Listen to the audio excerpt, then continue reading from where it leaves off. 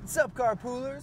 Corduroy Paco's mobile vlogging unit is back, and we are in the fullest of effect. Several days ago, I was hanging out with some friends of mine who happened to be a couple. And my friend's talking away, and he's like, oh yeah, and then I just got a just just totally lets one rip in front of his lady friend, in front of me, in front of my lady friend.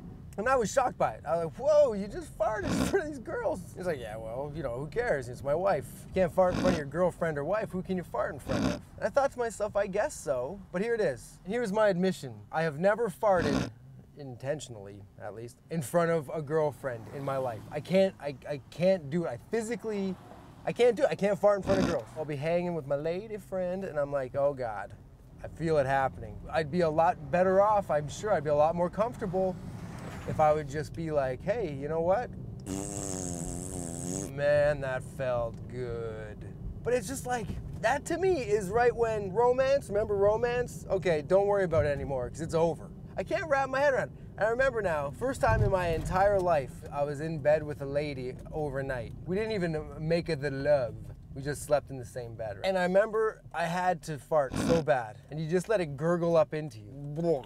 It's like an internal fart. You fart inside yourself. I bet it makes your breath smell terrible. The next morning I woke up, there was like a rock of gas in my stomach. And I actually remember going, it hurt so bad. And you're probably saying to yourself, if it hurts so bad, that should have been your lesson to just let it go. Just let it huff. Blow the man down. Squirt the cheese. It's not even a saying, I don't think. And it's just a thing I have. I cannot fart in front of a girl. I don't like farting at all in front of people. The ironic part of it is farts are hilarious. The more intense and horrible a fart is, the more inappropriate a place it is, makes it that much more funny. Like, trust me, I can be highly inappropriate. I can out inappropriate you to the max. I'm not saying I'm the world's greatest lover and romantic. Lover, yes. Romantic, probably. I don't want my girlfriend to become like my sister. And you definitely don't want your sister to become like your girlfriend, I'm assuming. I don't have a sister myself, but that would also be kind of weird. Oh, Merry Christmas, sis. See? Inappropriate. Do you feel the same way as me? Like that's kind of the first step to losing all the romance? Or are you the other side of people who think that makes your relationship that much stronger? Let me know in the comments. Like this, subscribe to this, join the ride in the Twitter.